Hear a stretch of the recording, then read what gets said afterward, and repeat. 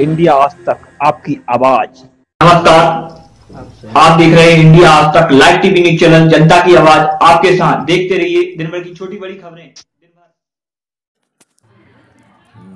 नमस्कार आप देख रहे हैं इंडिया आज तक आपकी आवाज़ बनासकांठा के रानेर गाँव में ब्राह्मणी माता हवन और भोजन प्रसाद का आयोजन किया गया।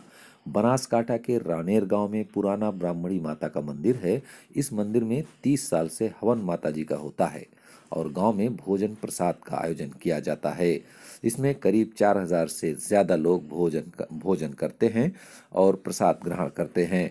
इन मंदिर में गांव के और आसपास के सभी लोग आकर हवन का दर्शन करके धन्य होते हैं बनासकांठा से अमर जादव और आनंद ठक्कर की रिपोर्ट ગામમાં બની રહે તેવી પરમ કૃપાળુ પરમાત્મા પાસે હું પ્રાર્થના કરું છું બોલો ભરવાનીમાં માત કી જય જમણવાર વિશે રાખ- મહાબળેશ્વર મહાદેવ કી જય જમણવારનું રાખેલું છે. જમણવારમાં સમગ્ર ગ્રામનો જમણવાર સાથે જ રાખ્યો હતો દરેક સમાજના લોકો સાથે હળીમળી અને એકતાના દર્શન કરાવ્યા છે.